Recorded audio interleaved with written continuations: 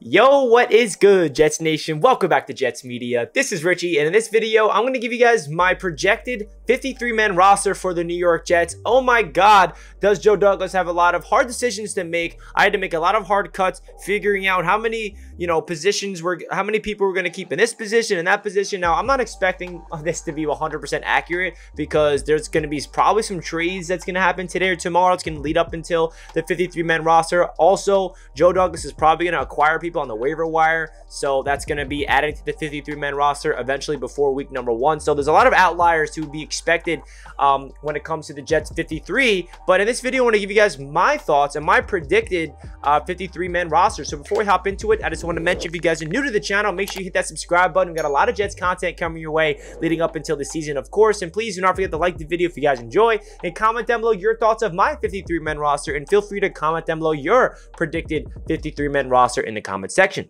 With that being said, let's dive right into it. We're going to go position by position, and we're going to talk about some players that can also make the practice squad. So we're going to start off with the quarterbacks. Um, this one, we got Zach Wilson, Joe Flacco, and Mike White as the three quarterbacks entering week number one. Yes, that means Chris Streveler is cut. Very unfortunate. Chris Streveler had probably the best preseason I've ever seen from a quarterback uh, ever. I mean, for the New York Jets, I mean, three straight games um, come from behind victories, but I just don't see them uh, moving on from Mike White. I really know that everyone in the comments is going to be upset with this. They want Chris Streveler to make the team, and I understand that. I hear you guys, but Mike White has a lot of experience with the system. We saw him last year in his first career start, 400 yards uh, against the Cincinnati Bengals, and I feel like the Jets are really going to prioritize Mike White's experience in this system over uh, Chris Streveler. And I'm hoping that we can get Chris Streveler on the practice squad in case any injuries happen uh, to the quarterback position and we can move Chris Streveler up to be the backup role throughout the season. So I think that Chris Streveler could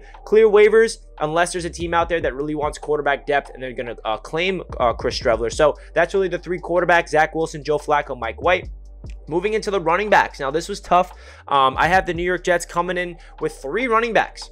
Breece Hall, Michael Carter, and Tevin Coleman. Now, this means that the Jets have cut Nick Bawden, the fullback. They've cut Ty Johnson. They've cut Bam Knight. They've cut La'Mical Perine. They've cut a lot of players.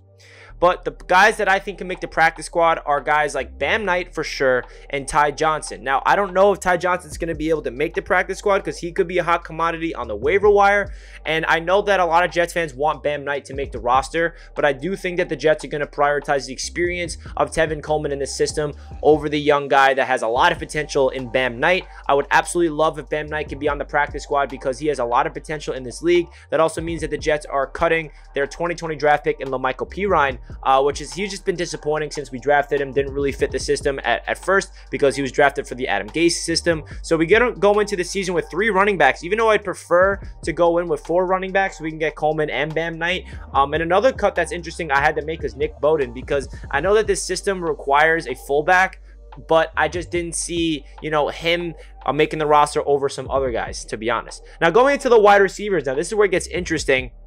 I got Elijah Moore, Garrett Wilson, Corey Davis, Braxton Berrios, Jeff Smith, and yes, I got Denzel Mims. I'm predicting that Denzel Mims is going nowhere. I'm predicting that Denzel Mims will not be traded because it, to me, it feels like Denzel Mims wants to be traded, but the Jets do not want to trade Denzel. They value him in the franchise. Now, in Denzel Mims' perspective, that he doesn't feel like the Jets value him because they're not starting him, but they value him for depth and for the future of this team. You know, we have two years of control with Denzel on the roster. We saw what he did yesterday against the Giants, putting up seven receptions, 102 yards, and a touchdown. And I'd prefer the Jets don't trade Denzel because I think that he could provide a big time impact this season if his name is called. If Corey Davis goes down with an injury, Denzel Mims that guy to step up. If anybody else goes down with an injury, Denzel Mims is that guy to step up. Even if there's no injuries, you can still sub in Mims on certain packages if some guys are gassed. So I, I like the Jets going in with six receivers. Uh, this also means that the Jets have cut Calvin Jackson, Tarik Black, and those guys. When it comes to the practice squad, I would love to see Calvin Jackson make the practice squad as well. I feel like those two guys complement each other well in the practice squad. Calvin Jackson's more that uh, small five foot nine receiver that has a big frame at, at the same time, and he had those two game winning touchdowns. Irv is that guy that really looks like a player that could be, you know, a big body receiver for the Jets in the long run. Uh, now, getting into the tight ends, we got Tyler Conklin, CJ Uzomah, Jeremy Ruckert, And Kenny Yeboah is the tight end that I see making the roster on top of these guys, which means the Jets move on from Lawrence Cager and Trevon Wesco. I'm hoping that we can stash uh, Lawrence Cager on the practice squad because he's been a huge bright spot for this Jets team uh, in the preseason. He's converted from wide receiver to tight end, but I do think that the Jets are going to value Kenny Yeboah because he's more of a prototypical tight end, even though I absolutely love Lawrence Cager and what he did. This was not easy, guys. This was not easy to make these decisions. I'd rather keep Lawrence Cager, but I do think that Kenny Yeboah is going to be that guy they're going to keep. Uh, when it comes to the offensive line, so the offensive tackle position, we got George Fant, uh, Brown, Edoga, and Mitchell but and then they're going to place Conor McDermott probably on the injured reserve list since he is injured. So that's going to come up with four offensive tackles. They're going to cut, uh, cut Grant Hermanns, who could be on the practice squad. And then the interior offensive line, Laken Tomlinson, Connor McGovern, Elijah Vera-Tucker, Nate Herbig, and Dan Feeney. And then maybe on the practice squad, we can get Glazer and Pierschbacher as well. So those are the nine offensive linemen I see making the roster. I would think that Connor McGovern, uh, Conor McDermott, excuse me, would make the roster, but since he's injured, he could be a candidate to be on the injured reserve list or just cut him and then bring him back when he is healthy. Um, now going into the defensive line, starting off with the uh, interior D line, we got Quinnen Williams, Solomon Thomas, and Jonathan Marshall making the roster, with Sheldon Rankin starting off on the pup list. So he's not going to uh, count against the 53 man roster because he's a little banged up right now. So maybe that'll make sense. And on the practice squad, uh, maybe Tanzel Smart and Nathan Shepherd will make it. So those are the two guys, key guys that got cut in this um, hypothetical scenario. And then the defensive ends, we got Carl Lawson, John Franklin Myers, Michael Clemons, Jermaine Johnson, Jacob Martin, Vinny Curry, and Bryce Huff all making the roster while cutting uh, Jabari Zuniga and Bradley Anae. Um, so I think those two guys are have a good option of making the uh, making the practice squad as well. Even though I do think that Bradley Anae could be a hot commodity on the waiver wire, he could get a claim somewhere else. Jabari Zuniga is a player that got cut last year and he was on the practice squad as well. So maybe uh, the Jets go that route again and they go into the season with 10 total defensive linemen 11 to be exact if you include sheldon rankin to be on the pup list. Uh, so listen the, the, defensive line is deep and it was really hard to make these decisions because you want to see all these guys make the roster make immediate impacts um, because we're so deep. And maybe some of these guys gets traded. Maybe bryce huff gets traded because he's uh, a good player and some some teams around the league want him um, and the jets can flip him for a pick I don't know. Not saying I want to give up on Bryce Huff, but you never know. Joe Douglas is definitely going to be answering some calls, and he could be trading a bunch of these players for all we know. Now, when it comes to the linebackers, we're going to go into the season with four linebackers. CJ Mosley, Kwon Alexander, Quincy Williams, and, and uh, Jamien Sherwood, and that means that Jets have cut Hamsah Nasirildeen. Now, this was tough because he was, you know, a draft pick last year, but I definitely feel like Jamien Sherwood is miles ahead of Hamsah Nasirildeen in his development. It was hard to keep five linebackers in this scenario because there's a lot of other positions that need um, more depth. If we can get Nasirildeen on the practice squad, I think that's going to be the case because I don't think another team is going to want to claim Nasirildeen, a guy that was drafted out of college who was a safety transitioning to linebacker. So I think the Jets will be confident if they're able to cut Nasirildeen and still sign him to the practice squad.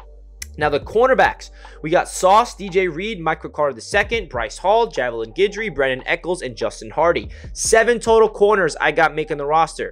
Um, Isaiah Dunn has been cut. Wild Goose has been cut. Now, this was tough because I we need to have, you know, if, this is the way I looked at it with this cornerback room. DJ Reed and Sauce are the two starters on the outside. Michael Carter II is the starter on in the slot. Now, who's going to be the backups on the outside? It's going to be Bryce Hall and it's going to be Brandon Echols. Who's going to be the backup behind Michael Carter II in the slot? It's going to be Javelin Guidry. And you got to include Justin Hardy in this because he's the special teams ace. He's going nowhere. So that's why we, we came away with seven total cornerbacks, unless the Jets want to cut Justin Hardy and then roll in with um, a different gunner. But I don't see them happen that happening. He's a special teams captain. He's a, a leader on this franchise, and I don't see them moving off from Justin Hardy. So that's why I think seven corners is, is possible. Maybe Isaiah Dunn makes the practice squad, even though he didn't really look too good in the preseason. But Isaiah Dunn definitely feels like he's going to get cut. The safety position. Now, this is interesting. Jordan Whitehead, Lamarcus Joyner, Jason Pinnock, and Will Parks is the fourth safety that I have making the roster, which means that Joe Douglas will be cutting his uh, own draft pick in Ashtyn Davis. Um, now, this is interesting because Ashtyn Davis He's a guy that I had a lot of hopes for when we drafted him initially. And this also means that this 2020 draft class is just taking hits after hits after hits. Mekhi Becton being injured, we all know that. Denzel Mims requesting a trade. Jabari Zuniga being cut. La'Mical Perine being cut. Ashtyn Davis being cut. Braden Mann not looking like a, a really good uh, punter.